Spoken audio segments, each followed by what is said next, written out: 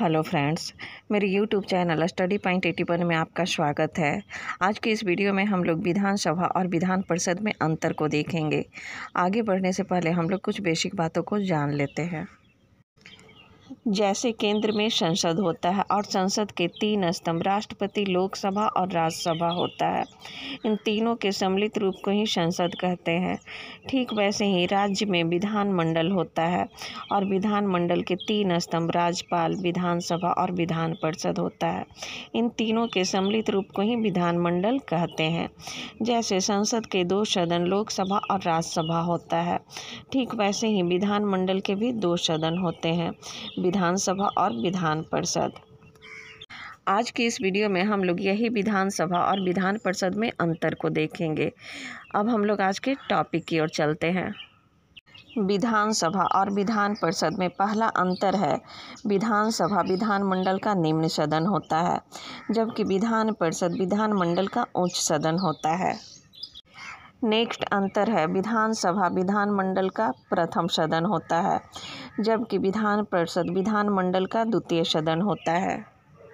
Next अंतर है विधानसभा में सदस्यों का चुनाव प्रत्यक्ष रूप से वयस्क मताधिकार के द्वारा होता है, जबकि विधान परिषद में सदस्यों का चुनाव अप्रत्यक्ष रूप से एकल संक्रमणीय पद्धति के आधार पर होता है। नेक्स्ट अंतर है, विधानसभा एक अस्थायी सदन है, क्योंकि इसे भंग किया जा सकता है, जबकि विधान परिषद एक अस्थायी सदन है, क्योंकि इसे कभी नहीं भंग किया जा सकता। परंतु प्रत्येक दो वर्ष के समाप्ति के बाद इसके एक तिहाई सदस्य सेवानिवृत्त हो जाते हैं। नेक्स्ट अंतर है, विधानसभा जनता का प्रतिनिधित्व करती है।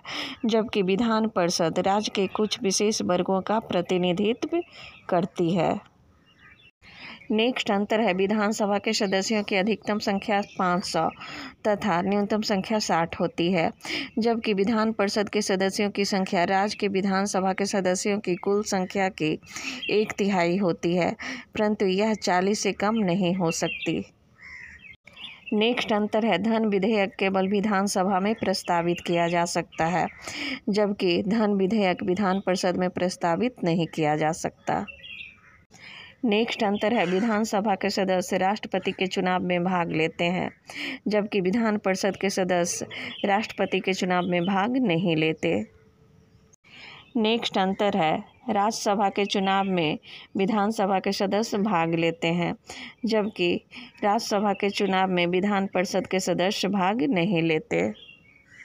नेक्स्ट अंतर है, बजट को पारित करने में विधानसभा को अधिक अधिकार दिए गए हैं, जबकि विधान परिषद को कम अधिकार दिए गए हैं।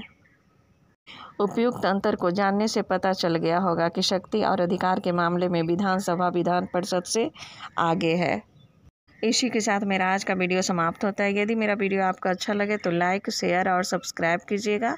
हम लोग फिर मिलेंगे अगले वीडियो में। तब तक के लिए नमस्कार।